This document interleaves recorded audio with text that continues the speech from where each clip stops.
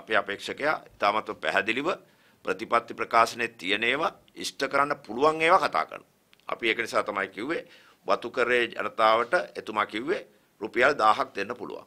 සජිත් ප්‍රේමදාස මහත්තයා කියනවා එක සැරේට 1500ක් දෙන්න පුළුවන් කියලා. ගෝඨාභය මහත්තයා ඉතාමත්ව පැහැදිලිව කියනවා මට කරන්න පුළුවන් 1000 වෙනකම් විතරයි. ඒකත් මං අරමුදලකින් තමයි මේක කරන්නේ. ඒ නිසා අපි මේක බොරු පොරොන්දු අපිට දෙන්න බෑ. අපි බලාපොරොත්තු වෙනවා මේ මැතිවරණයේදී මෙතෙක් ලංකා ඉතිහාසයේ පැවති ජනාධිපතිවරණවල ඉහළම ප්‍රතිශතයකින් ජයග්‍රහණය කරන ජනාධිපතිවරණය මේ මැතිවරණය බවට අපට මේ වන විට ලැබෙන සමීක්ෂණ වාර්තා හා අනිකුත් තොරතුරු වලින් පිට සනාථ වෙලා තියෙනවා. අපි දන්නවා ආණ්ඩු වෙනවා ආණ්ඩු පරදිනවා පක්ෂ දිනනවා පක්ෂ පරදිනවා. මේ වර මේ ජයග්‍රහණය එවැනි සාමාන්‍ය ජයග්‍රහණයක් නෙවෙයි අසාමාන්‍ය ජයග්‍රහණයක් හැටියටයි මම කල්පනා කරන්නේ.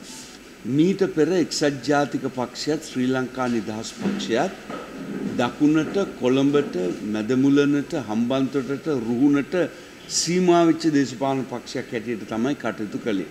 හැබැයි මෙවර මැතිවරණ ව්‍යාපාරය පොදු ජන පෙරමුණ මගින් සන්ධානය මගින් මෙහෙවන මේ මැතිවරණ ව්‍යාපාරය උතුරත් දකුණත් නැගෙනහිරත් බටහිරත් සමස්තය ස්පර්ශ කරගත් සටනක් බවට පත් වී තිබෙනවා. ශ්‍රී ලංකා නිදහස් පක්ෂය බණ්ඩාරනායක මැතිතුමා නිර්මාණය කරනකොට 1951 අපට තිබුණේ ජාතිවාදයක්. අපි සියලු ජාතියකට හිටියේ අපේ ආණ්ඩුවල අධ්‍යාපන ඇමතුනේ මුස්ලිම් ඇමතිවරු බදුල්දීන් මොහමඩ් මැතිතුමාලා අපේ පක්ෂ උපලේකම්ල වෙලා සම ලේකම්ල වෙලා හිටියා මුස්ලිම් නියෝජිතයෝ දෙමළ නායකයෝ අපිත් එක්ක හිටියා.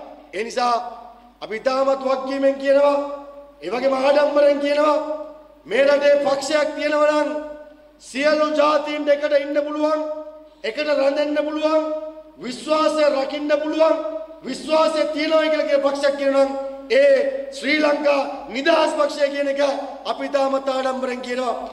විවිධ අවලාද විවිධ දේවල් මේ අවසාන කාල පරිච්ඡේදයේ සිද්ධ වෙනවා. ඒ සියල්ල අභියෝගයක් කරගෙන අපිට නිශ්චිත ගමනක් තියෙනවා. ඒ ගමන තමයි 16 වෙනිදාට මේ රටේ ජනාධිපති බවට ගෝඨාභය රාජපක්ෂ මහත්මයා පත් කිරීම.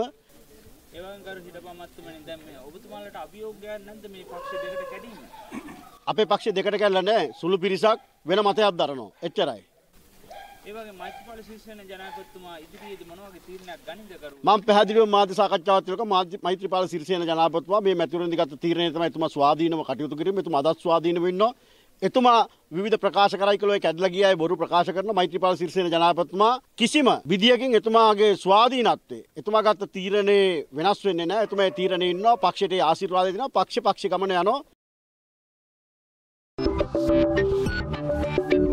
Thank you.